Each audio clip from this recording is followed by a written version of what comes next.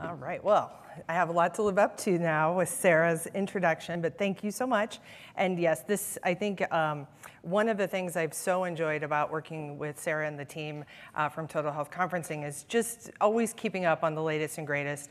And I think this meeting in particular, for those who are virtual, you've missed out on this uh, amazing experience in Sedona, uh, which we definitely have, uh, have recharged and, and renewed ourselves.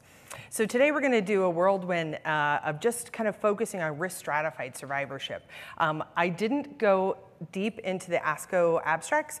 Uh, you can look back on Total Health's website and go through the abstracts, but we will take some of the premise from uh, some of those abstracts as we talk about risk stratification. Here are my disclosures, and uh, let's jump in.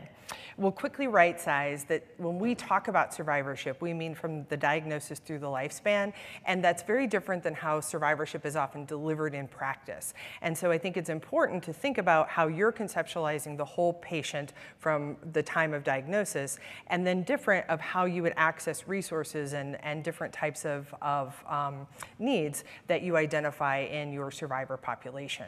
I think this slide is telling, and this is a, a great slide to even show administrators that, you know, we are only growing in numbers because we have so many patients living with and through their disease. We've heard this morning, um, especially in regards to hematologic cancers, you know, our patients are living a long time, um, even with disease, and they're ebbing and flowing and, and changing therapies, but we need to be managing those late and long-term effects because that's oftentimes what's a bigger risk to our patients in being able to optimize the um, emerging therapies and biomarker-directed therapies that we have for um, our patients. Most of our patients, two-thirds, are still um, um over 65, and when we think about just basic risk stratification of survivors. Our youngest and our oldest are our two sort of easy populations to think about. Youngest because of that exposure to therapy and what that will do as they go through their course of treatment and into their next phases of life. And if you think about it from um, a very common uh, late effect like cardiotoxicity, it's suggested that young cancer survivors accelerate their risk to cardiovascular disease by um, as, as little as a decade and as much as 15 years. So that acceleration acceleration to um, something that is, is oftentimes um, a greater risk for our, our, patients is important to identify. And that's very um, kind of telling with our older patients as well. And some of the abstracts that I reviewed in, in the ASCO um, Direct had to do with how we risk stratify and maybe using things like a um, um, older patient assessment or a frail assessment because using those types of tools can definitely help you identify which of your patients in your population of both acute and chronic uh, management will need a little bit more or need a, a, um, additional support as we think about their late and long-term effects. So this is a, a, figure that I've used since we launched our program in 2006. This figure still is telling today, and I think it's very important as we think about survivorship to conceptualize how do we want to deliver it, what do we want that to look like, and then how do we build our community around survivorship. Um, as you can see, there's a lot of moving pieces at the time of treatment, but a lot of patients don't ever leave sort of that treatment phase. And so roundabouts are very purposeful. And are we prepared for how we set those expectations to our patients? Are we prepared with our, our own care team and the extended care team to be able to manage those ongoing needs of our patients from sexual health to bone health to cardiovascular disease? And if we're not, we really need to think about those aspects of how we build out that community, which will not only make sort of our jobs easier, but it also is a better quality of care for our patients. And then when we conceptualize how we talk about extended survivors, that's really the continuity of care. And that is that tends to be where we think about from the practical approach to survivorship, a survivorship clinic. You know, that's sort of the ongoing way we manage patients. Many of us across the country have found success in doing that using an advanced practice provider model where we incorporate our nurse practitioners or physician's assistants into the the, the ongoing care of cancer survivors in tandem with the primary care team. Um, but we have to have some way to sort of keep those patients in the fold because a lot of our patients will be on extended therapy. And if you think about your two greatest populations of breast and prostate cancer survivors, which um, encompass almost 40% of cancer survivors, many of them are on extended endocrine therapy and they have additional needs um, in relation to uh, their ongoing management and engagement with recommended therapy. Uh, I come from a practice of, of genetic testing. I have for over 25 years. Um, so genetics is an important piece, not only in primary prevention, but obviously when we think about treatment planning for our, our patients who are newly diagnosed, um, treatment planning for patients who reoccur or will continue to be with us, and what about those patients when we think about them in a survivorship clinic. Uh, at ASCO last year, uh, we presented data from a, a year and a half long study in our breast cancer survivorship clinic where we identified identified another 15% of our survivors who needed update or initial germline testing. Um, and what percentage of those patients, which was about 12%, uh, which had a germline mutation, either a moderate or high penetrant gene mutation. So this is an ongoing need. We can't just think about it at, at one phase of care. We really need to think about all of these concepts uh, from a cross-cutting lens, and that's really where, once again, risk stratification uh, becomes very helpful. Because how do we manage survivors appropriately in continuity of care when we don't know their germline status, when we don't know if we should be more intensively, more frequently screening our patients.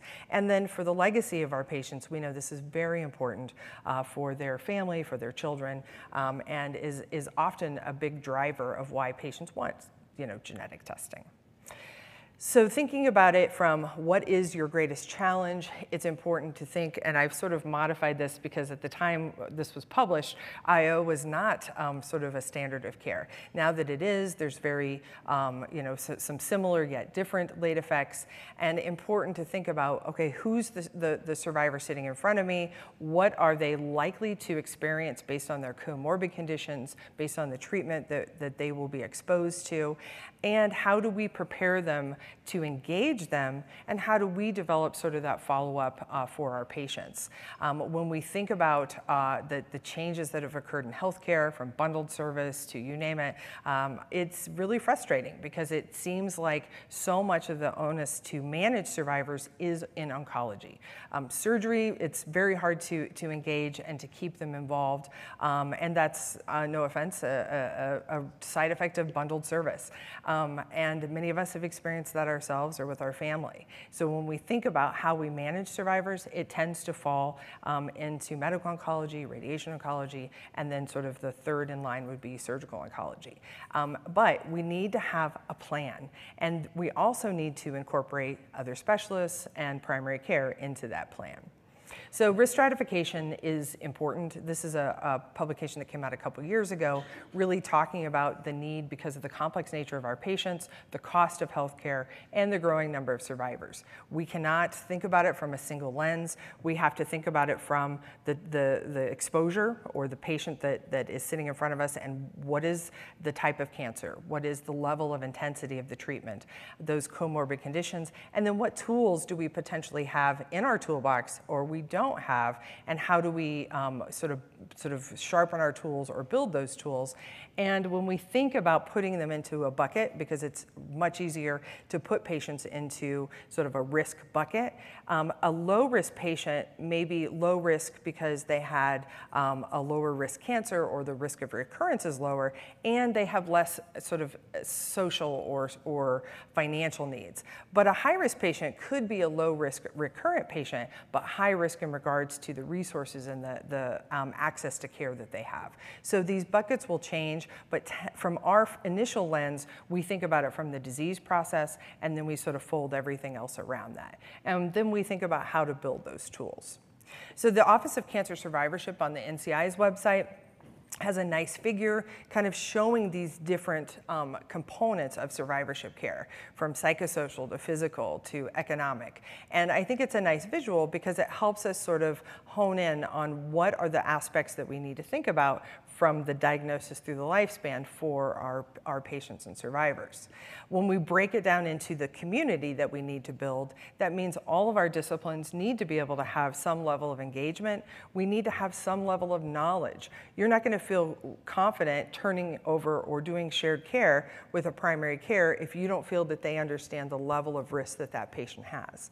And how are we communicating and how are we sort of empowering that relationship? So building the community of practice isn't something we should take lightly. And I think that's one of the challenges I've seen with survivorship programs across the country is that it becomes very much a delivery of care within what we have once again in our lane, but it doesn't really focus on, well, how do we build those partnerships and how do we build those referral pathways? And how do we make sure that the partners that we work with understand how to co-manage the, the cancer survivor um, who has a complex set of needs?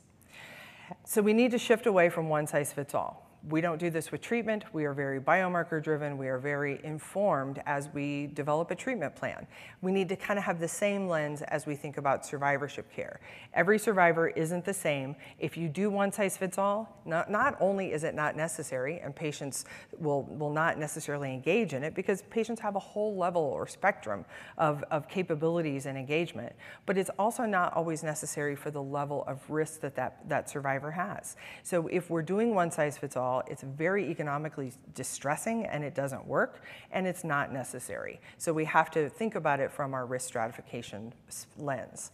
This is the ideal, right? If we would assess them at the different landmarks and time points across the, the patient continuum of care, that would be ideal. But who's going to do that, and how do we have the tools and resources to be able to assess patients? But if we think about it really from that treatment phase, this once again is from um, an article a few years ago um, when CAR T wasn't even standard of care, and it sort of breaks it up based on the disease risk, and then you would layer in obviously those other risk factors from the patient's comorbid conditions, lifestyle, um, you know, other existential types of, of concerns. But I think the important part is that baseline assessment and understanding those risks to start with is essential. Um, I know from our practice, we've added in, you know, a cardiovascular risk assessment at baseline. If any of you are Epic users, you know, these are things that are built into um, Epic Galaxy, which is sort of the shared community of Epic. And so you don't have to reinvent a wheel. You just have to go and look and see what's out there. But certain things that are very common late effects for your patients, we need to know what that baseline is because it's really hard to manage patients ongoing if we don't have that initial assessment. So these next two slides are super dense, but they're from an article we recently published in the Journal of Cancer Survivorship. So I would encourage you to, to pull that if, if interested. But we've done a lot of work funded by the CDC and the NCI to look at shared care between oncology and primary care. And there were four cross-cutting themes that really um, were significant in the, the gaps in care for our cancer survivors. And that has to do with organizational structure, um, sort of patient and provider engagement and communication, access to survivorship care and resources, and knowledge gaps. And I just want to highlight a couple pieces for you. Um, so the first was from the primary care vantage point, sometimes they don't even know if the patient has a history of cancer sitting in front of them. They have very, very rudimentary um, um, electronic health records unless they're part of your bigger system and, and they luckily have you know, a more advanced EMR. Uh, but in our state of Kansas, we have a lot of really small, um, not sophisticated EMRs. So it's very hard to have that knowledge transfer just based on technology. The other, when it came to communication, I love the quote that's highlighted. Um, this was from a primary care that said, and then you get like a 432 page note that uh, you try to sift through and you don't know what's what. So we send them an enormous amount of information. That's not what they want. And on the next slide, what you'll see is one of the things they do want, they want a narrow sort of order set from us or a to-do list. So instead of sort of embedding it in 432 pages, um, literally giving a bullet list is essential. So we're actually building as part of an R01 that I have right now, order sets for breast breast, colon, lung, and prostate, which we will share with the world um, as soon as those are done. And the working group includes primary care physicians, oncology, and the care teams that really manage patients. So from a primary care vantage point, they do an excellent job doing primary care because they have best practices. They're incentivized financially to, to hit certain landmarks in regards to cancer screening and, and management of, of chronic disease.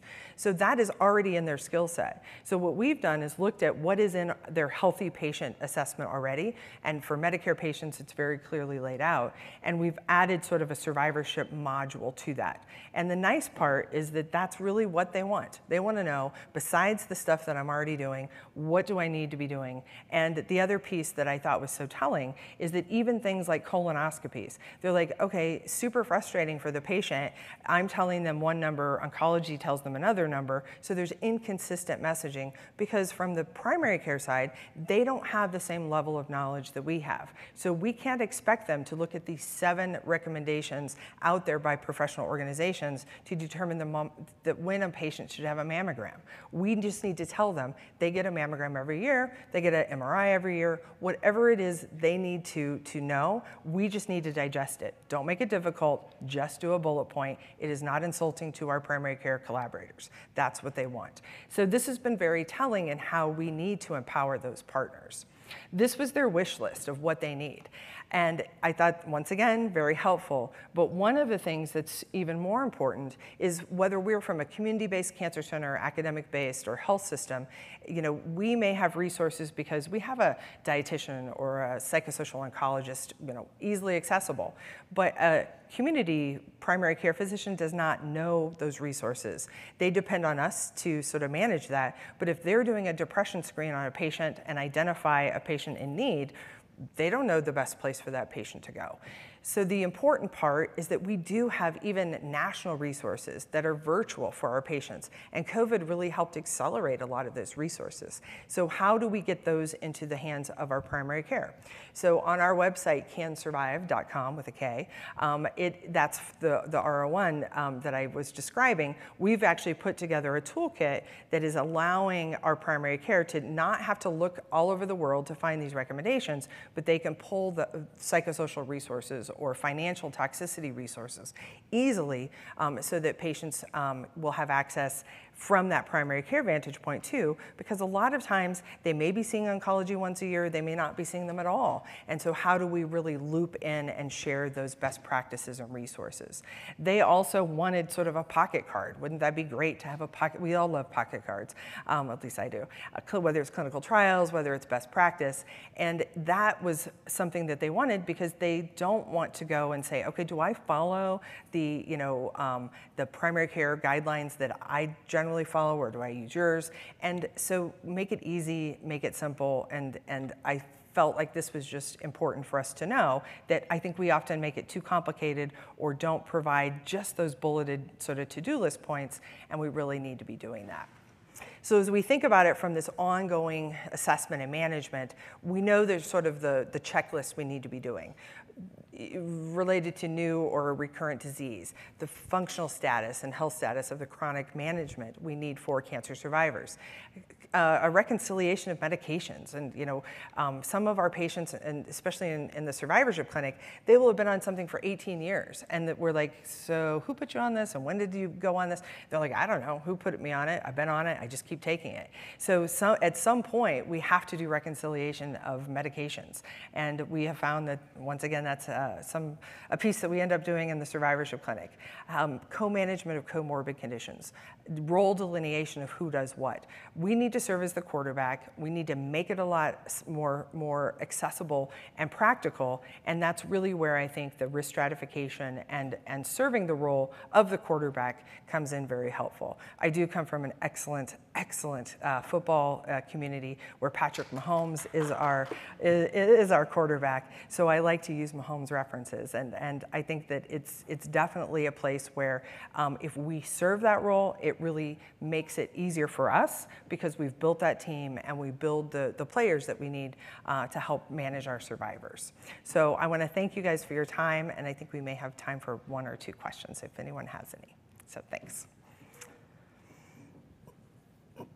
We do have a question from the virtual audience. It Okay. says, what are some good first steps to building a survivorship program in community practice? So that is an excellent question, and I have a great answer for it, um, which I don't always have great answers. But the first is you need to do an inventory of what you already have available and accessible, and that is a survey. You do a survey for, and we did ours years ago, and we keep doing some updated ones. You can do a Survey Monkey, you can do whatever, but you want to uh, assess everyone who touches your patient, from administrators to schedulers to you name it. And what we did is we really looked at what do we have, who are the people that you're referring to already. So if you don't have a cardio oncologist, that's okay. But you may find that, that one of the oncologists always refers to this particular cardiologist because they um, are a great partner, they help keep our patients on treatment, and they help us manage those late effects. So don't reinvent a wheel. Start with an inventory, see what you have, and then identify gaps once again from that survey or what are things in clinic that take you a lot of time or you feel are gaps in care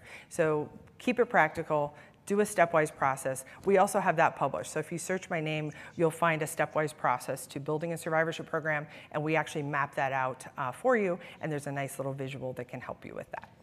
So great. All right. All right well thank you all for your time and uh, thank you for being here